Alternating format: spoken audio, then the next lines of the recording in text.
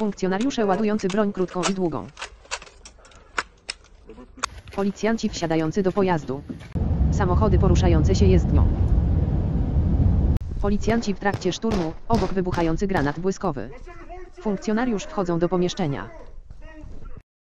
Policjant sądzą na podłodze zatrzymanego, a następnie przystępuje do przeszukania go. Funkcjonariusze pukają do drzwi, a następnie używają taranu i wchodzą do pomieszczenia.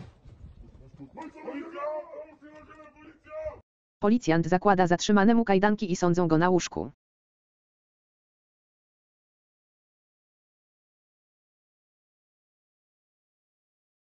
Linia produkcyjna narkotyków z termometrami cyfrowym i analogowym.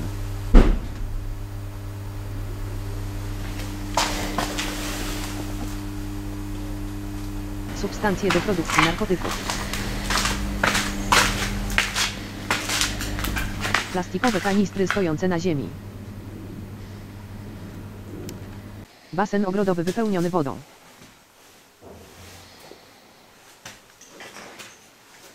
Plastikowe beczki wypełnione nieznaną substancją. Beczka z naklejką o treści kwas oraz stężeniu 80%. Nieznana sypka substancja w worku foliowym oraz na metalowej łyżce. Plastikowe beczki wypełnione nieznaną substancją. Szklana kolba. Wiadra wypełnione ciemną cieczą. Zbrylona substancja w foliowym worku.